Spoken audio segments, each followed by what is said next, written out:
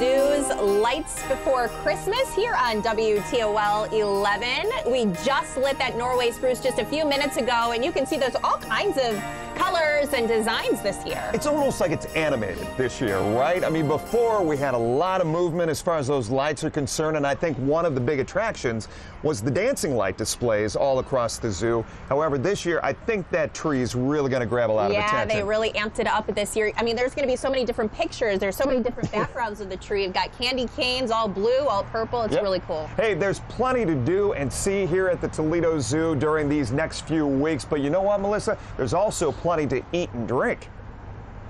The Toledo Zoo draws you in with hundreds of thousands of lights, and they hope to keep you full and happy with some holiday eats. The foodies who come up with the menu say they consider the weather and the event when deciding what would be best for the guests. We wanted to keep things, you know, a lot of handheld, also warming items, you know, it's cold, so the chili, warm soup, warm sausages, everybody loves that kind of stuff. The zoo will once again feature pulled pork sliders and buffalo chicken egg rolls, along with their house-made and fried chips that you can upgrade as you see fit. The normal nacho would be a nacho chip, but we did went different and we did potato chips. So we deep fry our chips. You can have them plain, just salted, or like this is here, you can have them loaded. If you don't want jalapenos, say you don't want jalapenos. We're here to make everybody happy. The holidays are a time to indulge, and the zoo is more than happy to help.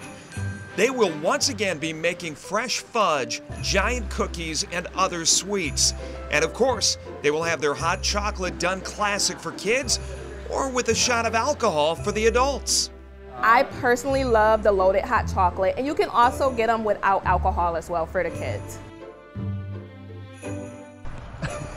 now, we just touched on something in that story that you brought up earlier. You said sometimes the wear and tear of bringing the kids, getting them all bundled up and bringing them out here. Mom and dad might have want to have a little treat. Some of the things we like to do to make memories as families aren't the most relaxing. We get that. Yeah. So the Toledo Zoo's got you covered out yeah. here. treats for mom and dad, treats for the kids as well. And something they added a few years ago